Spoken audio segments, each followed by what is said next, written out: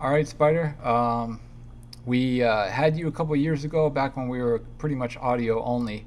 Um, so now that we stepped up, I had to reach back out and get you. So I appreciate you coming on the channel and, and being with us today. Easy call, Big John.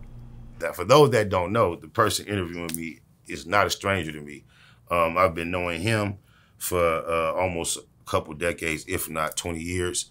Um, my very first presence on the internet was provided by John. I want to thank you for that. He was the person that ran the entire Death Row website. And if you can recall, back then, websites were not just something everybody had. So it was something more affiliated with a major label. It was a hell of a responsibility. And as an artist affiliated with the label, he had a design where all the artists would have their own section. If you were a Death Row fan, you could come to the Row uh, website and then it was almost like each artist had their mini own website built in it where they have their own section. So I had a section like that. And then um, as I used to network with John and he helped me build and show me how to work with it and chat and do all my shit, he then um, launched my own website for me on his own on his server. Uh, I knew what GoDaddy.com was so long ago because of this dude. And um, I had Spiderloc.com, and it was kind of like I was kind of like at the forefront of rappers being online and being present. Um, highly due to uh, John putting me in the game and lacing me. Can you tell me a little bit about what the beef is with uh, between you and Wack 100? I know you call him Wack No 100, but um, can you explain to the viewers uh, where you guys kind of I don't want to say went sideways, but where the animosity started between the two of you. That's a good way to say it. Went sideways, where the animosity developed, where, why the um, constant um, candid disrespect spews from my mouth on a consistent basis is because um, I had went on a hiatus as far as making public appearances, rapping, being online, uploading music, anything of that nature. I had went on a hiatus for about seven years.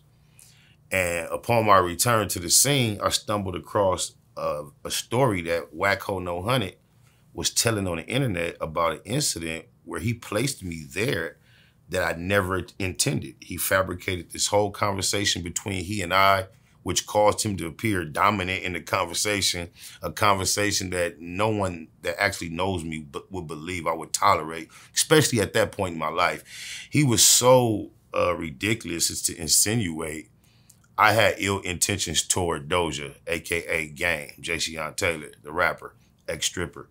And according to Wacko No Hundred, I physically intended to do harm to Doja, and I had him surrounded in a parking lot, apparently, while he was leaning against his car.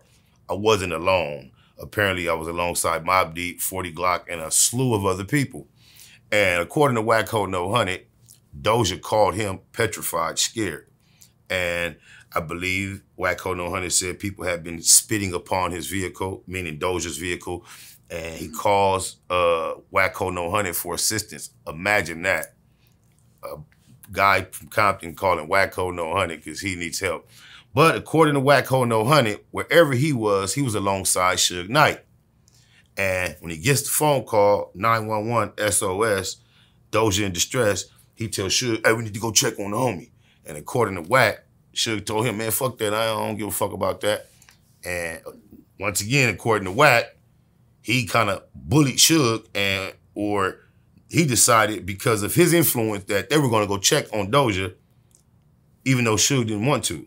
So somehow in this universe in Wack's head, uh, I was standing there all this time waiting for him to come and show up. I never did nothing to Doja.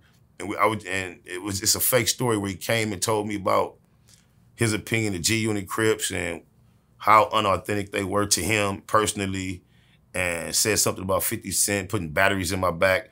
And he claims to have had this conversation with me in person, and I do declare it never, ever, ever took place. So once I saw that, I became very comfortable being honest about him since he was dishonest about me. So i have always known that his character was not one of honor. However, I didn't feel like it was my business to be exposing him. He was a constituent, an associate, someone I was familiar with, and it was an industry affiliation. And if you uh, don't realize it, the industry is compiled of weirdos. It's full of weirdos. So he fits right in. However, once I saw that he was comfortable lying on me, um, I became comfortable being honest about him. With his current situation with the 60s, do you feel like um, there will be any repercussions for him, you know, as far as what's going on? I would. I mean, he might be a sly fox, you know? And uh, I hope no harm comes to that dude or to anyone. I hate the fact that that type of energy is being acted out in real time online. I think that's uh, dangerous in more than one way.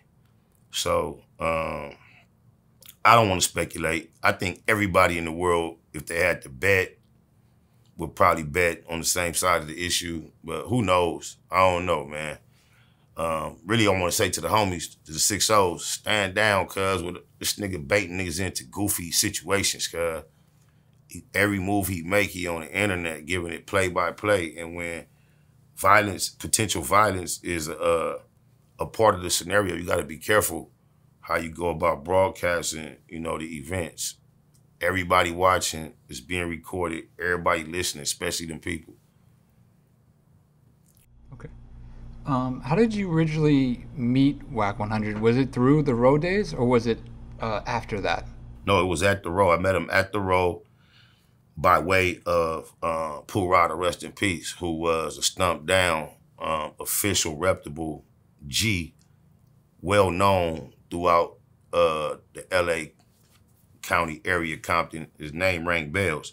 And if I'm not mistaken, I believe he was incarcerated with Suge, and they developed a bond as to where he was invited to come fuck with Suge at the Row when he got out. And being at that, um, Wack was probably one of his homies that had a little change. I believe that when he went to go fuck with Suge, that's the vehicle he utilized to get there. Yo, Wack, take me up here to go fuck with Suge. I believe it was something to that effect. I could be slightly off with the details, but that's when I that's when I met him at, at that time. Yes.